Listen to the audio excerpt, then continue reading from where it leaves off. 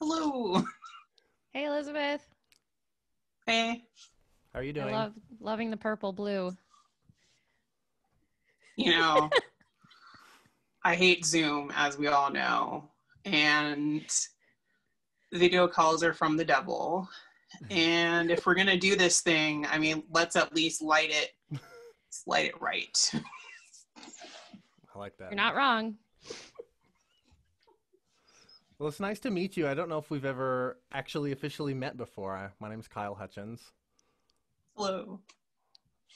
Thanks for joining us. Yeah. So, Elizabeth, how's the recent past been for you? Like the recent, recent past, or like the recent past? I don't Well, know. it's, it's an ever changing thing, right? So, maybe this week. How did this week go for you? That's fine. Really, every week in the pandemic is fine. It's like I stay in my house.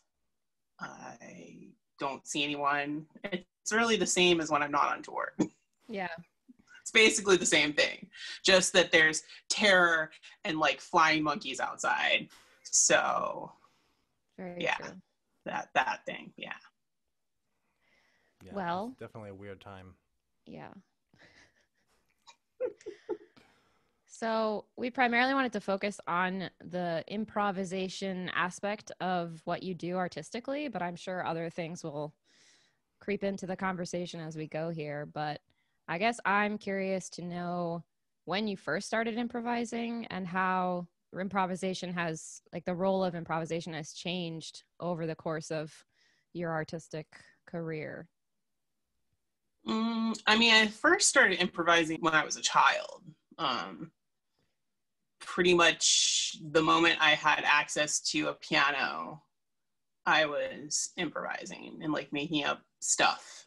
So that's always been just an aspect of how I interact with practice and stuff. Uh, I think when I was in music school, uh, I got bored very quickly with the very limited classical guitar literature. Oh yeah, I'm a class. I was a classical guitarist, but there's no career outlook in that. So I tell everyone like, please don't encourage students to ever be classical guitar majors. There's what are they gonna do? like, there's no jobs unless somebody dies. There's no jobs. Um, so it's true. Yeah, you just suck up to the good teacher, and then like, you might get their job, um, which is horrible and ridiculous. Um, but yeah, so I there's a very limited uh, repertoire for classical guitar. It's just that's it's been it's one of the newer concert instruments if you want to think about acoustic instruments and that it's really been a concert instrument only for like uh, just over 100 years. So in order to reestablish a relationship with the instrument, it was necessary to incorporate improvisation within uh, like my life of practicing. Um, but then I'm from Florida, and Florida has an incredibly large noise community. Uh, we have the International Noise Festival here, so uh, improvisation outside of the confines of what it means in a classical format was always around me. So it really started to impact, I guess, when I was in school and how I would look at improv Im- improvising with my instruments and other instruments. And then I got into electronics at the same time. I was like going to traditional music school while being in the underground DIY scene. Probably not the two things you think should go together at the same time, but it really, you know, it made me a weird person and people like me for my weirdness. I don't know. Did you ever play electric guitar at all through those studies? I didn't get to play electric guitar like in class. Um, that was kind of like taboo.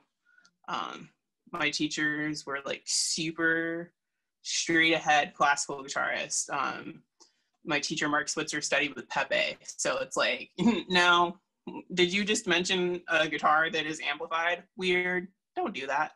Uh, even my classical guitar was never amplified. It was always uh, I used a microphone and I had a Bose L1 Model 2 system.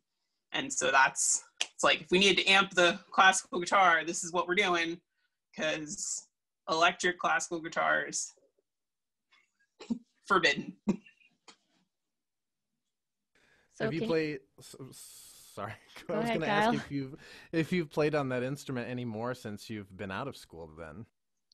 So I always say that classical guitar majors never remain classical guitar majors. I mean, some do. The ones that are going to take the people's jobs that are dying, those remain classical guitarists. But basically, every other classical guitarist either doesn't play guitar, doesn't play music, or plays in weird asymmetrical time signatures that you can't, in venues you can't find on Google Maps.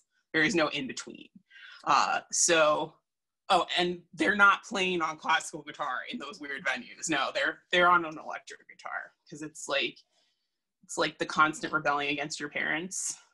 You're just constantly rebelling against your teachers for the rest of your life. Um, but I don't play guitar publicly anymore. it does appear on some studio stuff, but never publicly. So you have played many instruments up to this point, including many electronic instruments and um, just the use of you know software in general and and other noise making devices. So I'm just wondering if if you think improvisation um, has to do with your ability to just pick up a new instrument and feel comfortable taking it on. Is that part of what you've done historically, or? No, I mean that's probably just cellular memory from some ancestors that might have played those instruments. Uh, and then just i don't know i'm like one of those humans that can pick up things and figure out how to work with things in a very small amount of time.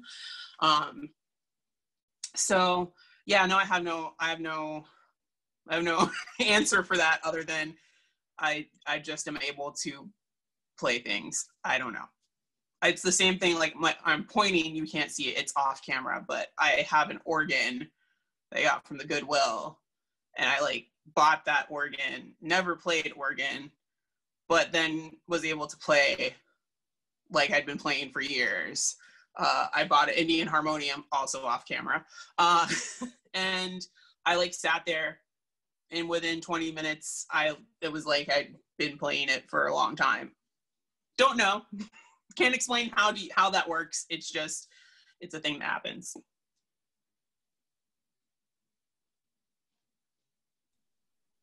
So I'm just wondering um, how your collaboration with Nathan Corder started. I know that's more of an improvisational collaboration or wh- however you want to characterize it. You can feel free to correct me, but I know, I think primarily you improvise together, correct? No, no, it's an ever evolving collaboration. Okay. Can you talk uh, about that? Yeah. I mean, Nathan is one of like my dearest friends and collaborators. He's kind of like more like a brother than anything else. Um, we met in the most Andy Warhol way. Although Nathan always says that it's normal, I'm like, no, that wasn't normal. That was normal at all. We met uh, at a at a venue you can't find on Google Maps in Tampa. Uh, it was like a storage unit next to a storage unit where like a death metal band practiced and they were having a digital media art show and yes there was a woman in a bubble so um i mean it was it was it was Andy Warhol esque. Like it was, and it's in Tampa, so you wouldn't also expect Tampa to have this weird Andy Warhol situation. Um, and a mutual friend of ours, Eileen, uh, I got there and I didn't really know anyone at the time, and she was like, "Ooh, you do music. You should meet my friend Nathan." and that's how we met. Um, and then we were involved in the Tampa music scene. Also, like, I'm gonna backtrack for a second. So, Nathan is from Tampa and I'm from St. Petersburg, but we also have a lot of uh, intersections of musical acquaintances, close friends, and musical events that we were either at and never saw each other, never met each other. Uh, Nathan was also a classical guitar major so we should have met each other way before our 20s. But somehow we met in our 20s um, and it was it was very interesting because all of a sudden those connections that we should have had all of a sudden made sense um, and so yeah that's how we met and i've always really enjoyed nathan's view of the world and his work as well too. I mean he has a piece that involves uh, a, a bag of potato chips and a bottle of coke. Uh, it's the deliciousness of the moment. And i tell him all the time i'm like i will reprise that i will reprise that piece for you whenever you want. Like um and so yeah he wrote a piece for me that's actually the first track on quadrivium so um that was the first piece he wrote for me uh and it's called sachet and then I don't know what happened after that. Then then Nathan moved to Oakland and I was very sad because there's nobody here like there's nobody like Nathan in the world, but there's nobody here kind of doing the same the same sort of compositional stuff with the interesting flair that Nathan has. Um, and so yeah, it's it's Tampa, it's St. Pete, and unfortunately, a lot of the good people tend to leave. Um, so he went to Oakland. And then uh, Sarah Cahill gave us the opportunity to perform for the Garden of Memory. Uh, I want to say it was last year. Maybe it was the year before. I don't know. Time is relative. Um, and so she gave us the space that used to be Pamela Z's space, which has this fountain and so Nate and I were like, hydrophones, obviously, because I built a hydrophone for Nathan years ago. And then I was making a new build of hydrophones. And so we decided to amplify the fountain, like, because, you know, and Pamela came through actually right before the, uh, the whole shebang opened. And Pamela was just like, yes, yes, yes, this is what you do in this space. And I was like, yes, we have Pamela Z approval. Uh, and so I played theremin and Nate played guitar for that, uh, along with the fountain that we'd amplified. Um, and it was pretty cool. And then while that was happening, yes, it was while that was happening. Mm-hmm. Yeah, keep saying that to yourself. No, it wasn't while that was happening. Then I went. I go back and forth to you know the Bay Area uh, under the auspices of like practicing with Nathan wherever possible. Uh, so we went. It. I want to say it was when I went back to perform at the Center for New Music. That seems like a timeline that makes sense, right? Yeah. Okay. So was that the Center for New Music? But I also went and thanks to uh thanks to who who was it that lent us their space i don't know right now like i see the name but i can't say it with my words we went and we we practiced uh in uh, in one of the spaces in oakland and we started making the piece that became waking sleeping bodies which there's an absurd amount of documentation of us going through this process because it's a piano piece in which I never touch any of the keys, which is magical, and we should do more of that.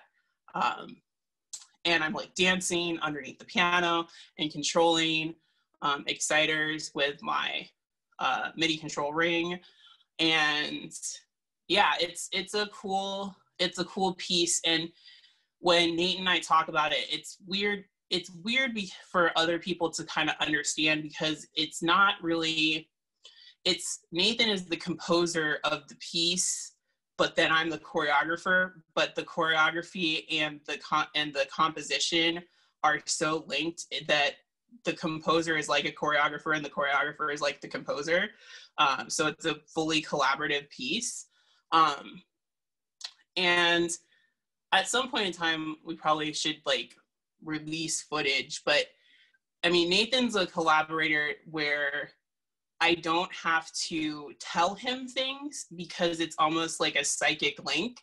And we have the same idea or similar ideas at the same time. And it's more just like oh did you i'm confirming that you wanted me to do this thing that i'm pretty sure you want me to do. Yes. Okay. So and it moves pretty smoothly.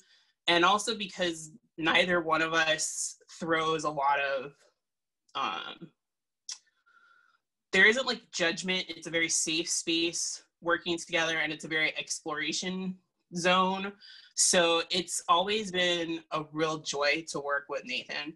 Um, then we had the whole pandemic thing, and because of that, uh, we weren't able to play uh, do Waking Sleepy Bodies at uh, New Music Gathering this year. So we ended up taking uh, video and audio from field recordings. Both of us like to do field recordings.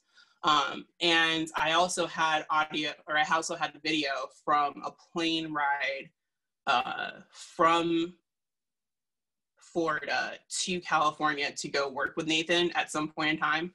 Uh, and that also was used in this film. And so I did all of the video work, and then Nate did all of the audio stuff um, based on this collaborative drive of material that we had and using uh, Frame.io, which is an amazing platform because it's lossless video. Um, and I know I think a lot a lot of the news people and BuzzFeed use it, but it's a really cool platform. Not many people talk about it, um, but it's it's one of the best for video collaboration, remote video collaboration. And I think that to date, I'm probably missing something out. Those are all of the iterations that we've had. So it's it's interesting because it's not like we're playing together all the time, but it's a lot of collaborative ideas bouncing off of each other and bouncing across the nation, which is pretty cool too, because there's not many times when we get to be in the same physical location at the same time. Yeah. So, how much of that work, or at least the planning part of it, uh, is uh, improvisational? Like, do you improvise together? How is are any of the pieces structured improvisations? Was that a starting? I mean, it's Im- it's improvisation. Um, we we do improvise together. There's a whole secret s- session not so secret because I've said it now on the internet. There's a whole session of stuff that we did with Moog Guitar um, last year, uh, which will be released at some point in time. Uh, I have to be super secretive about that. Uh, but you're, you're not doing Moog. a very good job of being secretive. Uh, no, I'm secretive about the timeline of these things, but I can hype the people now. I'm hyping the people now. So I'm when hyped. it drops, you're like, oh my gosh, did you say Moog guitar?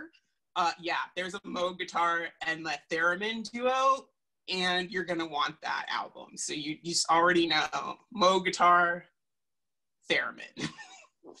um, that's all improvisational, and it's a weird type of improvisation because um, I don't know if anyone knows what a Moog guitar is, but it has infinite sustain. Like imagine an EBow just like built into your guitar. Uh, that's basically a Moog guitar. It also has MIDI uh, inputs because you know what would be a Moog guitar without MIDI inputs. And uh, the problem with this is that the theremin and the Moog guitar sound very much alike, especially when you put a Moog guitar through a Kemper, and we have we have you know infinite possibilities of sound. Also, we put an EBow on the Moog guitar, which is probably not advisable. Magnets against magnets does set cool sounding things that probably it shouldn't do. Um, but yeah, I mean, that's improvisational, but in a very different way than any other improvisation because you're like, what, who's making what sound? is that part of why you chose that instrumentation? Uh, no, uh, I mean, no, yes and no. Um, we were recording uh, a good friend of mine from uh, production school. I use his studio when I want to just be an artist and not focus on any of the tech stuff. And also because he has so many just things to play with. He he himself was also a classical guitar major. Uh, seeing the trend, like nobody's doing classical guitar. Uh, and so he has a ton of guitars because uh, one of our former professors basically gave up music and was like, I don't need a studio anymore. I want to buy my stuff. And he used to work for Mattel, so he had Mattel money and would just buy stuff. Like we would, we would actually tell him in class, he's like, "Hey, Mark, this Moog guitar thing came out." He's like, "Hmm, only only nine hundred dollars."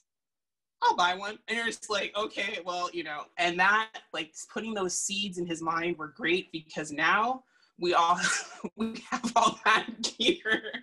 Um, and so yeah, so the Moog guitar was just one of the guitar options that uh, that Nate had for that session. Uh, and Nate normally is pretty simplistic in his guitar choices, but uh, the the Moog guitar was a new beast, and it was really interesting to see like the evolution of what Nate did with that over the session. So look out for that. Probably gonna drop sometime before the end of the world. That sounds great. I can't wait to hear that. Uh, can you talk about some of the ways that your collaboration with Nate has worked to provide access to kids and disenfranchised community members? Which I read on your website is one of yeah. the, the ways that you work together. So, um, a lot of me going out because Nate is in school. Um, I go out into a lot of different schools, and Nate's work and me working with Nate's work is a really good connection for kids because they're pieces that really shatter the boundaries pretty quickly. I mean, when I pull up the, the piece, uh, Waking Sleeping Bodies, and they see the video of that, they're like, oh my gosh, but how are, how are you making sound? Like, where's, where's the sound coming from?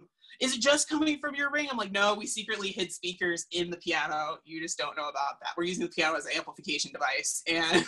And, and so uh, they're like, oh, and, what, but, but where's the other person? I'm like, he's behind the curtain he's like the Wizard of Oz. It's the Wizard of Nate.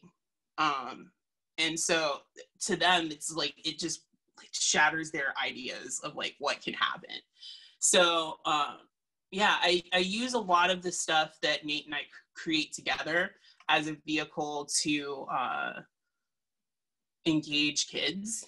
Um, and a lot of times when I do these sort of things, I have paper and pencils, and I normally get the art teachers involved uh, so that the kids can draw or write what it makes them think or feel, uh, which I guidance counselors have told me that this is their favorite like visit to the school because they get to have the kids access their emotions, which can be a very scary thing because sometimes there's crying children and more crying children than adults to deal with the crying children. But then the guidance counselor's like, oh my gosh, it's so great. They're accessing their emotions. No, we don't need them to access their emotions. Let's not have them access their emotions. It'd be great if they could just keep them to themselves just for now, just for now. Access them later. Um, but yeah, that's that's that's basically the iteration of what's been happening. There's some other stuff that uh, we're working on um, to do some more engagement now that I'm doing more video work. It's more possible to do, to do those things. Um, but lately, that first iteration is what's been the norm. Does improvisation play a role in that at all, or can you see incorporating improvisation in your work with the kids in the school? I mean, it's improv anytime I work with children.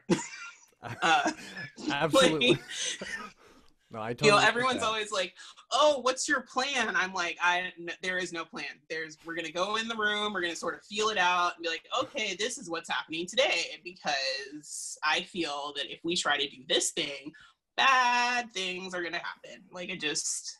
Uh, and I, side note, I worked as a substitute teacher for about five years, so I really understand like that danger zone. Like before most people know where the danger zone is, I'm like, oh, we're there, we're there, we're here. It's it's happening. That's so. I worked as a substitute teacher as well for a while, and that was always an adventure. Because every like day all you get performers, all performers should really work as substitute teachers because it really tells you how to read a crowd. Like, right. Every day is a different group of kids. Yes, and I also did a lot of substituting with uh, what diversion and dropout prevention programs. So I've seen things. I've seen a lot of things.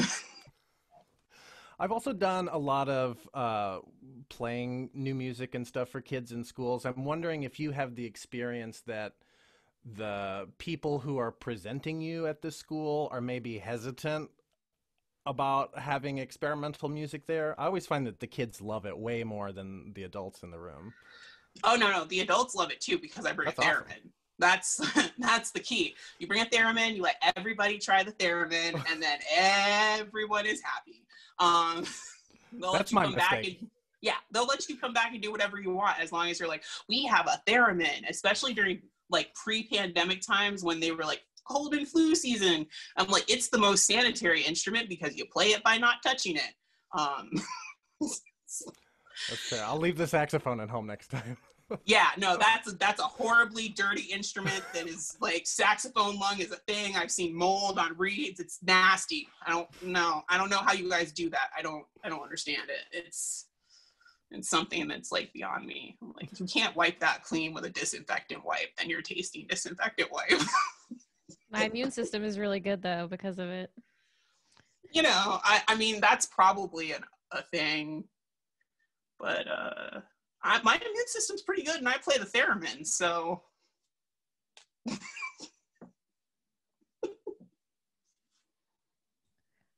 So, can you tell me a little bit, like, I before we maybe leave the topic of you and, and Nathan's duo, I'm just wondering how you would describe your improvisation with him or your artistic collaboration with him more, if you could describe that more specifically.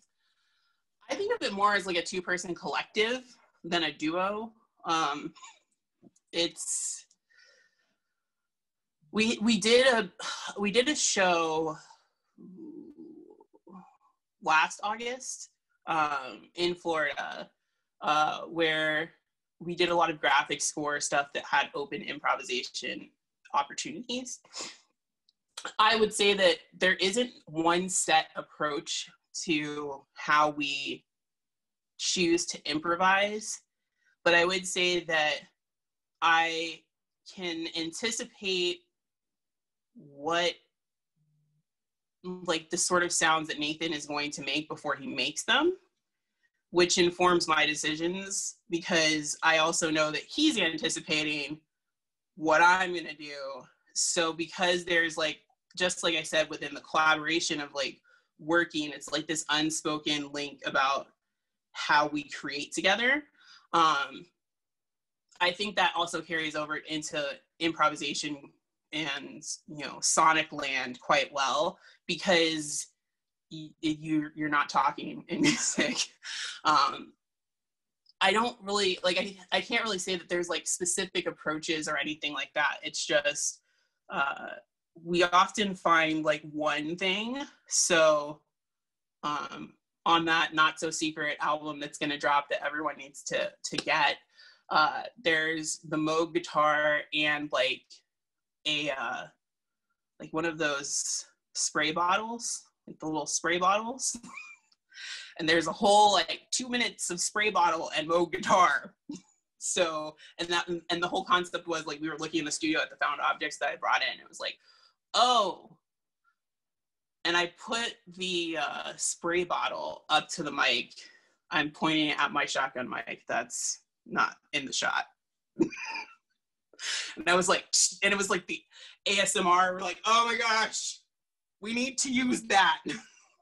we need to figure out how we can make that longer. and so uh, a lot of times it's like finding one sound and trying to figure out how to build off of that one sound for a longer, like a long period of time. Uh, because we also both don't like short pieces. So they end up being long form improvisations. And I think that there's also a lot of space um, I know that the Nate tends to do a lot of like sort of iterative, open, uh, what would I call them? It's like a like if I could explain my stuff, it would be like a single line.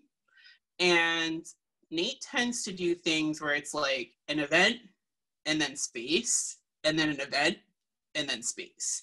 Uh, that's not always what he does, but that's like one of his favorite modes of expression within the form of improvisation. Yeah, I can see how those would really complement each other.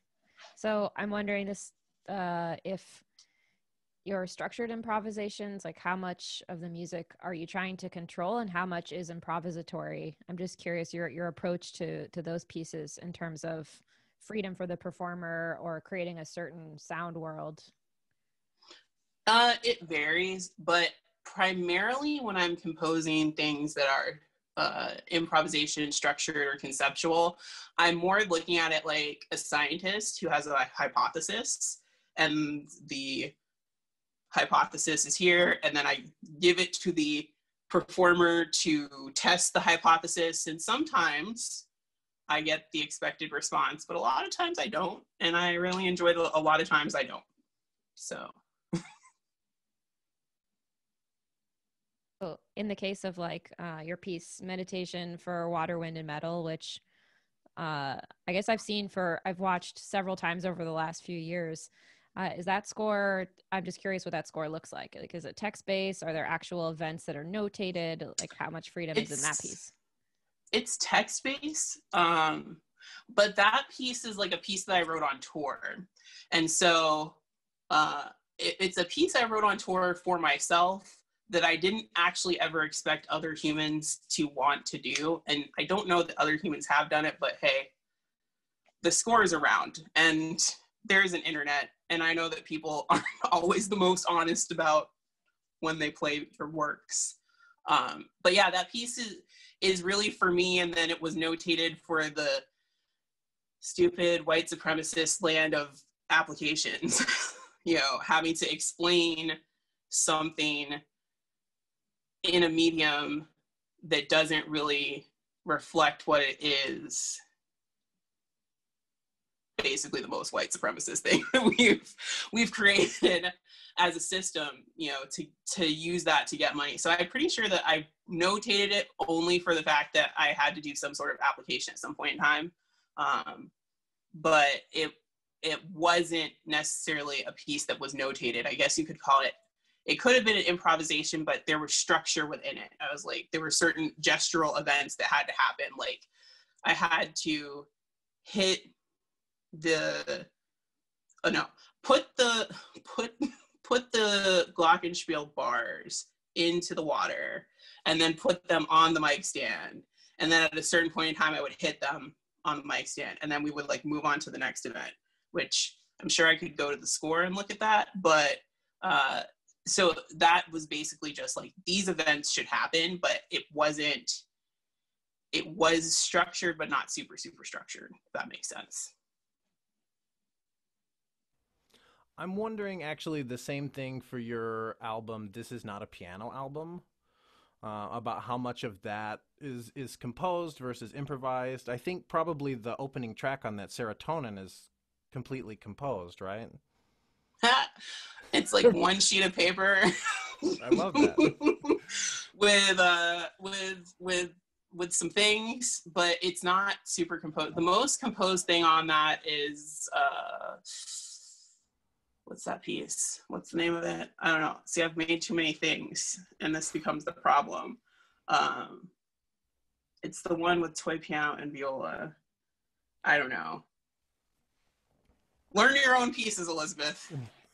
But also, I'm like, that album was like what 2016. Mm-hmm. Yeah, 16. Yeah, that's like four years ago. I can't be expected to remember things from like four years ago. Um, that's like 40 years for me. I, write so many things. It's like, oh, this is like 40 years, 40 years. Um, but yeah, and I should know because it's based on a like the title comes from like a track by the Strokes. Whatever Uh, that piece On is- the Other Side? Was that the one? Yes, on the other Yeah, side. There it. we go. Uh, thank you for the phone in from a friend. Um, well, I just want to say I love that album, and when I was playing it, my dog was transfixed by that album. My dog was a huge fan as well. How did your dog like Mortimer James takes flight? uh, she, I think she slept through that one. Okay. Because Mortimer James is a real, it's a real object. It's a real, it's real, um, it's a cymbal monkey. And he took flight off of my harmonium when he fell. Hence the name. Takes flight. I love that. It was much better than saying like he was a, le- like a lemur or a lemming going over the going over the the cliff. So on this album, you have a toy piano, as you just mentioned, the Indian harmonium, which you said Mhm. is sitting right beside you. I love that on this Yeah. album, as well as like theremin and electronics. Can you talk a little bit about your electronic setup and what, you know, was it pre-recorded electronics? Were they live process electronics? How were you using those within this? And if it wasn't composed and you're improvising, I'm especially curious to know how that worked. that was that album is pretty much all improvisation except for those two pieces that we talked about um i just improvise as a practice especially back then um and also because i have such extensive experience with pro tools and recording i feel very at home uh obviously this is my studio. Um and it's very easy i it's very easy to set things up uh, for me to record. Um, back then my studio was configured differently and it was configured in such a way that my electronics were always going into pro tools so that i could always just turn on pro tools whenever and be like oh and we're recording in 48k 32-bit float because i don't believe in 44.116 it's gross and nobody should nobody should tolerate that it's wrong. Anyways, um, so a lot of it is listening back to stuff and saying, okay, I need to overdub some things. So uh, generally, I would say uh, there's two to three overdubs happening, and by overdubs, it's normally like different configurations of the same rig and improvising it over myself. Uh, that that's just because uh, I used to have a project very scandalous. You're getting all of the secret information. Um, I used to do what I like to call experimental electropop. It's called Suitcases of Sound. Yes, because I always had suitcases full of instruments, so suitcases of sound. Took a lot of years to be able to travel with a suitcase without people being like, "Oh, what is it of sound?" I'm like, no, it's of clothes. Um, so yeah, so I I did a lot of live looping when I first started doing electronic music because I came to electronic music through the vehicle of having a band, an all-girl band in high school, and people would text their boyfriends and not practice so I replaced them with robots. So that's how I came to electronic music. I was like, I was writing all the parts anyway, so I could just I could just be in charge of the parts, give it to a robot. And so that sensibility of live looping carries over now into how I look at tracking and recording and stuff like that. So I live looping is obviously the scariest of all improvisation because many things can go wrong and when they go wrong you cannot fix them. So you must commit to them. And you must commit to them in a way that makes it feel like the audience like you meant to do that um, which is difficult. So because i don't have to loop now i'm able to sort of take the spirit of live looping into my overdubs um, and yeah i mean that really that really is kind of the same format that i use now where i would lay a track and then do an overdub. Lay a track, do an overdub. Um, because I also don't, I didn't have access and still don't have a lot of consistent access to collaborators. So this is all happening as a soloist. Yeah, that's pretty much it. Aside from Mortimer, what were some of the other found objects you used on that album? Oh, that's a deep question, and it's only a deep question because I I've done so many things since then. Um, Mortimer, I'm like looking at Mortimer. He's in the closet. Uh, it's okay. He comes out sometimes. It gets uh, better. it gets better. um, Mortimer James, probably some bottles Mm, yeah, and toy piano, but that's not really a found instrument. But yeah, I mean, I, I think that was a pretty straightforward album. And so it didn't really have a lot of the extra objects that normally I would use. But I did use my organelle for that. So I didn't want to say it's like there's theremin, but fake theremin duos. So like sometimes I will play the organelle with my like left hand and then play the theremin pitch antenna with my right hand while using my head to control the volume and that probably definitely happened on that album i've done it exactly i've done it exactly two times live and there may there may or may not be a video of that but i've done it exactly two times in front of humans Normally, I like to keep that shame to myself. Why do you love toy piano so much? I don't know that I love toy piano so much. okay, why do you use it so much then? It's okay, it's okay. The toy pianos are over there. Some of them. There, I have nine of them. You just have to assure them sometimes that it's okay. You have nine, but you don't love toy piano necessarily. That's fine. Fine. You have to explain a little bit of that. Uh, you know, it's it, it's a preoccupation. I enjoy the fact that toy piano is in some ways a diversion while staying in the land of like Western music. Like it subverts Western music because it's not in tune ever. Uh, I've actually had a couple string players. They're like, "Oh, we should tune." I'm like, "No, you're you're you're gonna not want to do that." that's a bad life choice.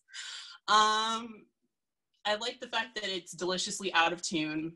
Um, I like the fact that each toy piano is different. That's why I have nine. Um, each one has their own tonal character. Some ring more than others. I have also some toy pianos that were that have murals on them uh, that I didn't do. I have other toy pianos that I have painted. Um, also, I'm sponsored by the Schoenhut Toy Piano Company, so it's very easy for me to buy them. They have my my debit card details on file, and they're in St. Augustine. So it's like I ask for one, and it's FedEx next day here. So it's it's easy to have a problem. It's easy. Um, it's easy for that problem to build. So yeah, so I have nine toy pianos. Um, I use them not as much as I used to because it became problematic for me.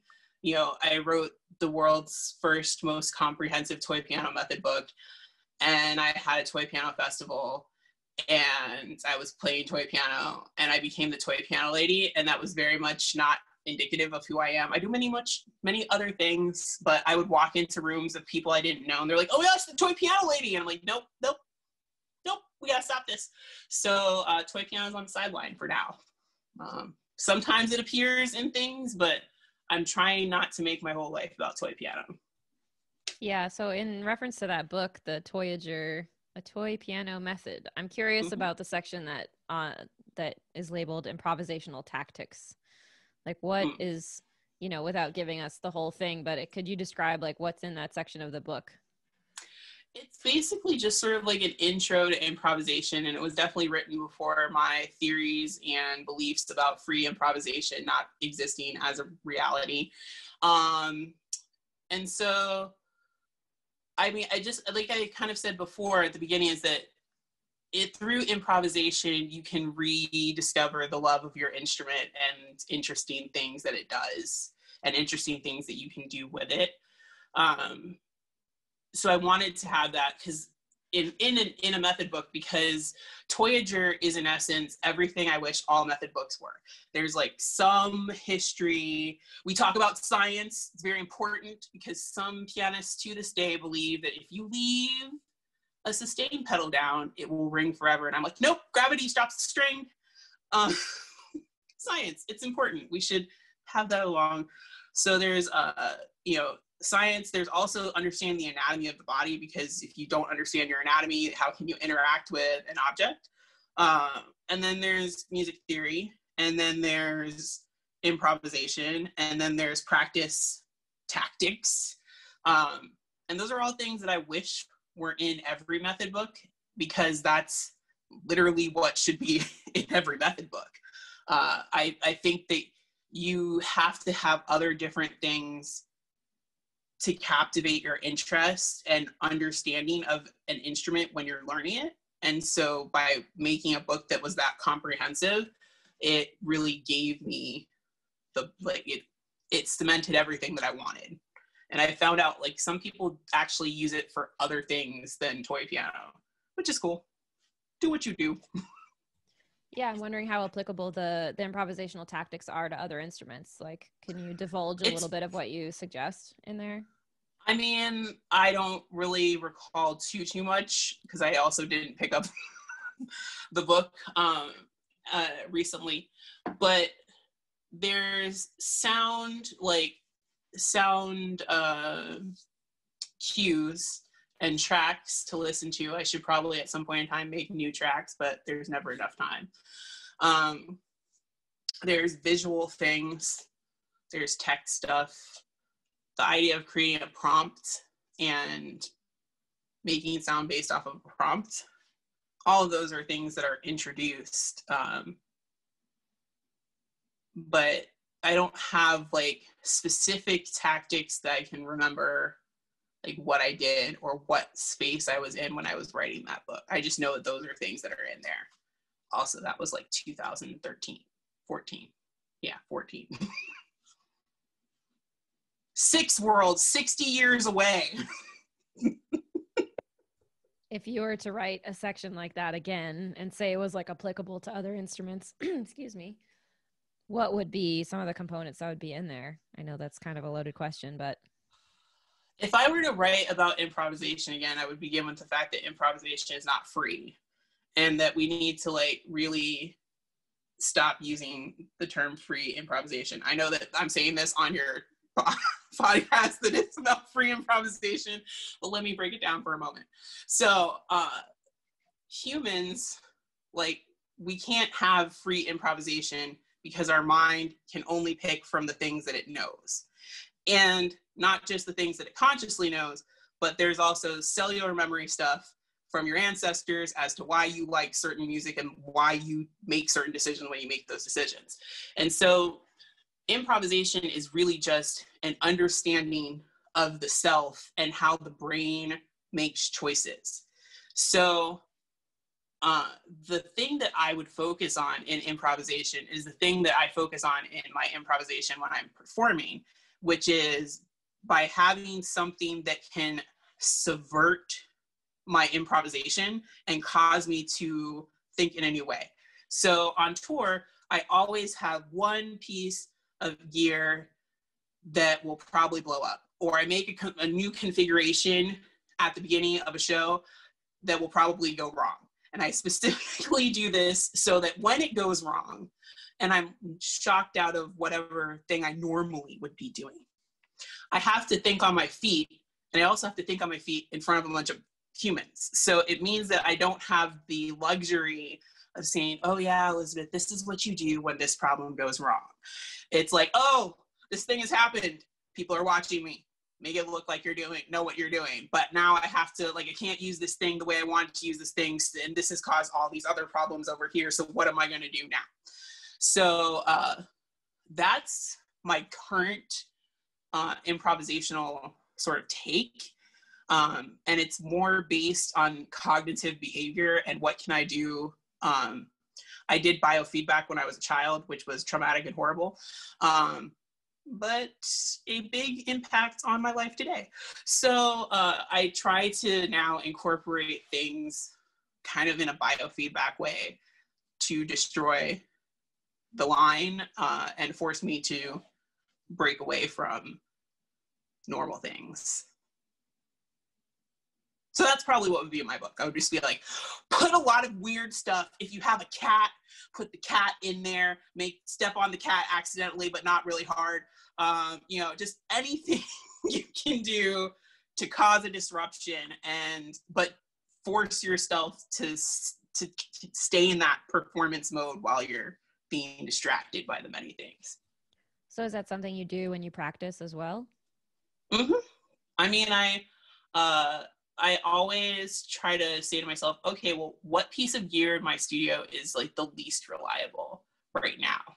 Like, what can, what can I throw in here that is going to possibly cause? Sometimes it doesn't cause a problem, but a lot of times it does, and uh, I find the joy of sort of de-escalating the bomb.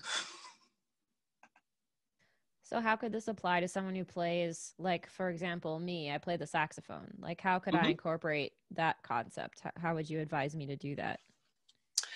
I think that uh, the first thing would be figuring out what exactly are your norms when you improvise and you can do that through recording um, and you can you should i always tell people they should video record themselves um, because a lot of these things that I'm talking about with the brain are can be altered by visual or environmental changes.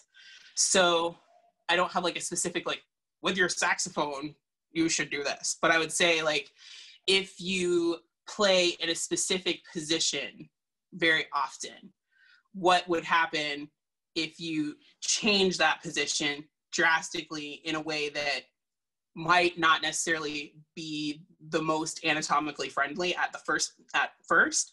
Uh, and what does that do when that change has happened?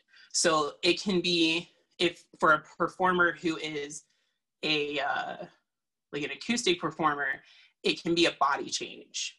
And a body change will destroy your life sometimes. Um, and so it's really just about creating something that's going to cause that neural network to just fire in a weird way um, because it's unused to those uh, pathways. So it could be like a change in venue or something like that too, like practicing in a different space.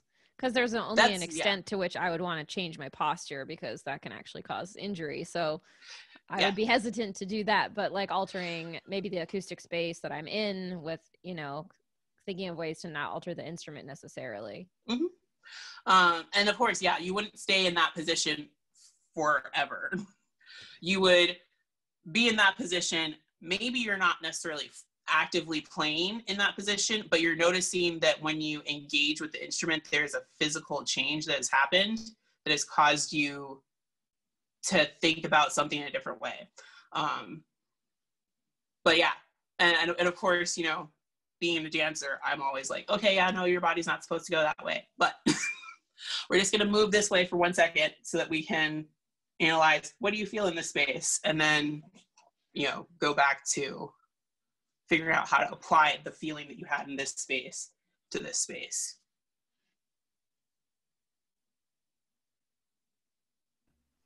Um, speaking of your study of biology and anatomy. I'm curious if you could also talk a little bit about your study of quantum physics and astronomy and geometry and how th- what you've learned from those studies or how they have influenced your creative work and improvisational language.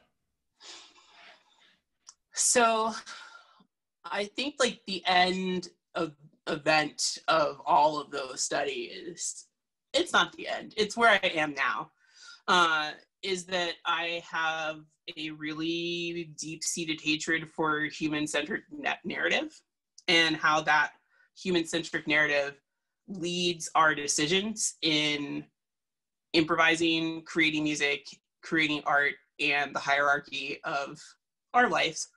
Um, so for me, you know, I'm going out and I'm doing field studies. And so a lot of people are always like, oh my gosh, you're improvising outside. It's pretty. I'm like, no, I'm actually collaborating with the leaves and the winds and birds.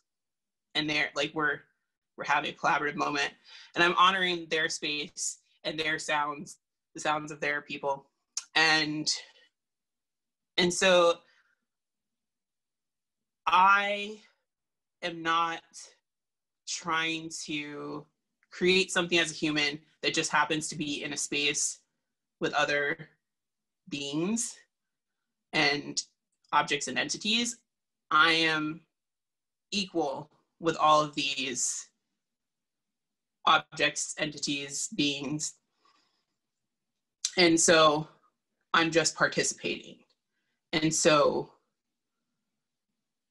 I guess what I'm trying to get at is that those studies were really the pathway to get me to where I am now. And in those studies, you know, I mean, today I would probably reject a lot of the things that I did in the past, but I realized that they were they were the pathway to where I am today. Um, but I I firmly like I one of the things that that drives me nuts is like when people are like, oh, well, we have to have a story. What's the story? What's the story on this piece? I'm like, there doesn't need to be a story. Sometimes it's just sound.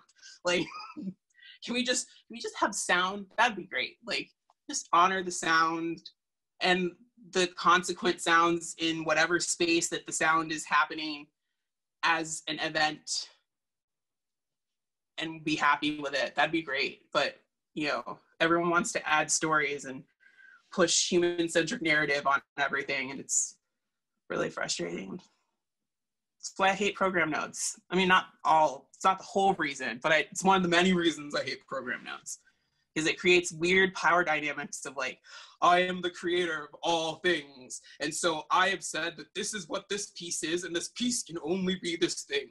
No it's real it's really inaccessible. Kind of douchey. I feel the same way about program notes. It, it kind of uh, uh, doesn't let the audience come up with their own interpretation that may be totally different from what you think. Because a lot of people feel like, oh, but the audience won't know if we don't tell them. I'm like, um, I'm pretty sure the audience has brains and ears and thoughts of their own that probably should be honored instead of trying to be like, I don't know, like a dictator of sound. have have you also delved in at all to metaphysics like mm-hmm. astrology mm-hmm. or tarot alchemy this kind of stuff? And what have you learned from uh, those studies? some things also there are things that i do not f's with. Um there are things energy things that we need to just not touch. Like we know that they're a thing. We need to not go down that road because i know some people some things have happened they have some ghost issues. My house is calm, full of happy energy, no dark entities here. Um, but I know some people that did some things, things they shouldn't have been doing. You know, don't open doors that you shouldn't be opening. That's why I say, like, the whole Mars Volta Ouija board is like, uh, that's the that's the answer for that. Like Bedlam and Goliath was almost not an album because you know they were messing with a like a Ouija board from the Middle East, and demons come in deleting Pro Tools sessions. Nobody wants that. and then they were so obsessed with playing with the Ouija board that one band member had to actually fly to like Iran and bury it in the desert and so that the others wouldn't try to dig it up and play with the Ouija board. Wait, what band is this? Uh, it's the Mars Volta. I don't know about this, but I'm gonna look that up now. They were very obsessed with Ouija boards for like for that whole album. They were very obsessed with Ouija boards because they didn't want to. They didn't want to hang out with fans and like girls and groupies. They were like, let's go in the band and play with the Ouija board. No, man, that's not what we need to do. okay, so so you don't fucks with the Ouija board. no. But what what have you studied in in that realm, and and and has it influenced your work at all? I mean, um, I am very much into energy work and things like that. Um, I am very under like I understand energy, like I feel it, and I don't know how to explain what that experience is for me on stage. Uh, but there's nothing like super actively like, oh my gosh, let's let's go do that. I mean, I studied Tibetan Buddhism when I was a child, um, and I've had experience with Reiki and a lot of different stuff. I don't want to get super like into it because I feel that that's also a very personal thing. Um, but I am an empath and I am very sensitive to energy and energy flows. And so, yeah, that has a, I probably rely on that a lot more than I rely on like learned things. And improvisation, like being an empath is like the secret tool because you can read all the people's stuff. uh, so it's like a cheat sheet, and I definitely rely on that. And some sometimes I rely on that much more than I rely on my ear. It's a secret, not a secret anymore. We've revealed so many secrets, or you so revealed so many secrets tonight. Thank you for divulging and making this a nice, juicy interview for us. Um, so, Elizabeth, what are you working on these days? So much. um, film and movement stuff, and uh, I need to finish building some hydrophones uh, that I will be throwing into the water around Florida, and then bleaching because there's uh, flesh-eating bacteria and brain-eating amoebas. So, you know, um, and yeah, I'm I'm working on my next solo album, and I'm I don't know. I'm just creating a lot of content. Got I'm lucky to have commissions from people, and yeah, just keeping ridiculously busy during pandemic times.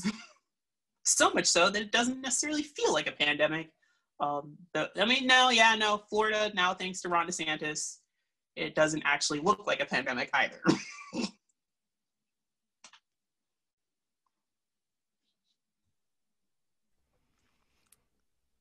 Well, I I think we've covered a lot, so we don't. I we're at the about an hour point, so we want to be sensitive to your time. But this was really awesome. Thanks for your time, Elizabeth. Yeah, we really yeah. appreciate that. I hope there was something meaningful somewhere in that discussion. yeah, of course. I mean, great. It's like a window into into your philosophy and what you've been doing. So I think that's really valuable, especially to those who then go listen to some of your music and watch some of your videos. So thank you. Yeah, thank you so much, Elizabeth. It was great to chat with you. Yeah.